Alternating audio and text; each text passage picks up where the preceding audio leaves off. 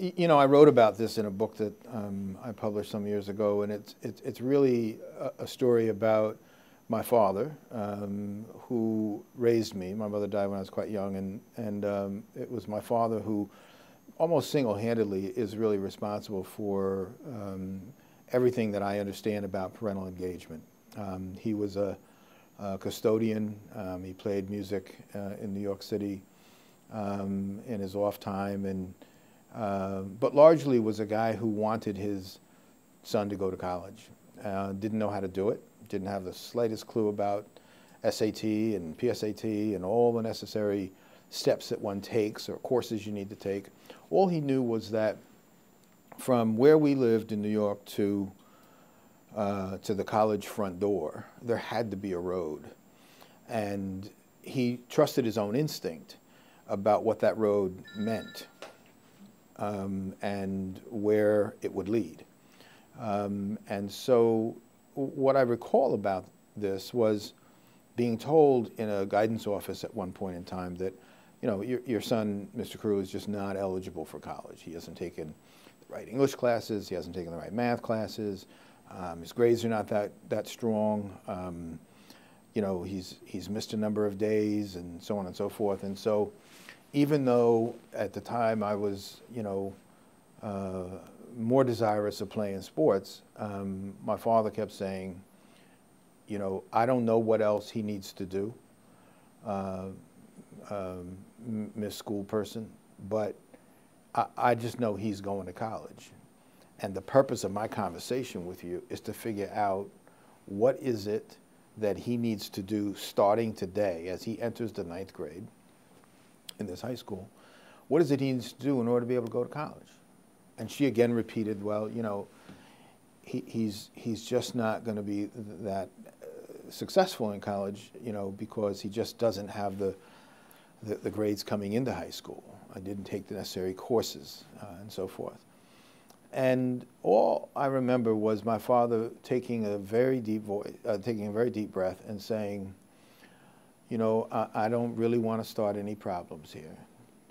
I just want to know what it is that he has to take. Now, if it's mathematics, you just need to put him in the same class as everybody else who's going to college.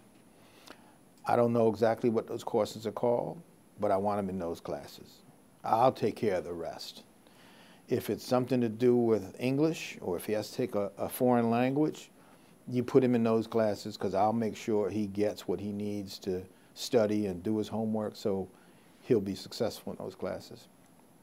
And I remember looking at my father and feeling actually a, a, little afraid that he was making a bet that I wouldn't be able to keep, but actually feeling pretty proud that here's somebody that I love very much who's expressing his belief in this big institution um, so profoundly, even if he doesn't have all the accoutrements. He doesn't have a suit and a tie, and he's not you know, conversant in knowing all the things you need and letters and the acronyms and so forth. All I knew was he just, there was a man who believed in me. And his belief in me, both then and even now, his belief in me is what got translated to me being willing to say, yeah, I, I, I, do want to do this. It confirms it that I do want to do it. I'm not sure I even know how to do it. He doesn't know how to do it. So we have to have a partnership with this school. And it starts with my father saying to this person, he's going to be put in these classes. Everybody else gets put in these classes. Those are the kids who go to college. I want my son in there. So it was his advocacy, it was his certainty that made it possible for me to think about and hear out loud that this was the norm. This was what was going to happen and that the job now, the work to be done, was for me to figure out how to make sure all of it got done. Homework assignments, uh, tests, uh, quizzes, uh, preparation for uh, oral language, uh, uh, Spanish, I spoke Spanish, speaking, you know, all the quizzes and the, and the, the debates that had to be done in Spanish and so on and so forth. All of that was on my end. On his end, it was he, he, he, he laid the predicate. You know, he just laid the groundwork. Study, come home, you got a few hours, do your homework in those hours, no, no TV.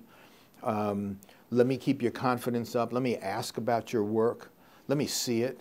Now, this is the man who had a third grade education. So, him seeing my math assignment really didn't say he was able to correct it. It was saying, I just care about you getting it done. I just care about the fact that this is what you are doing. This is your job right now. You're old enough to have a job. This is the job I want you to have in my house. And it was so clear to me that there was a partnership that I had in my responsibility, his responsibility, and frankly, the school's responsibility. And it was nothing for me to, over time, you know, sort of say out loud, this is what I did. You know, here's the, here's the, here's the report card that I got. And I remember bringing a report card in and my father looking at it and saying to me, now, son, what are these uh, C's here for? What does that mean? And I said, well, Dad, you know, you can get an A through an F, and a C is kind of right at the at the the, the, the average, really. It's it's sort of best I could do in that class, Pop. And he said to me, he said, well, now what is an A? What does A mean? He said, well, an A is a.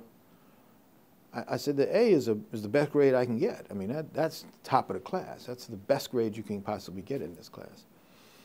He said, well, now, what is it that you would have to do to get an A? So, well, I got to study more. I got to be able to get a few fewer answers wrong on the tests. Um, have to speak up more in class, and so on and so forth. He said, well, then, that's what you do. that's what you're doing the next time. He said, I, I, I understand you can get a C, and I understand that maybe is the way you can pass, but if it's possible to get an A, then you need to get an A. Now, my, I, I, I don't suggest that everybody's got to get an A all the time. What I suggest is that you got to try your hardest. That's all he was really saying in this. But that's a parent's role to have those expectations. That's a teacher's role to have those expectations. That we actually can be A's, right? And if you fall short of that, well, then try again the next time. But the idea is it's a culture of effort, it's a culture of, of commitment. And it starts at home. It really starts at home. It starts with love and caring and affection and a set of high expectations that get committed and talked about and articulated between parent and child. It's a way of being able to continue that even as young people get older. And it's a way of being able to manifest it at times when you've lost faith yourself as a student. And so parents are always going to be in this equation. And the real question is how we as a school or a school institution, how we then use that capital, use that knowledge in helping to make this partnership work for the outcomes of this kid. That's the deal. That's the deal.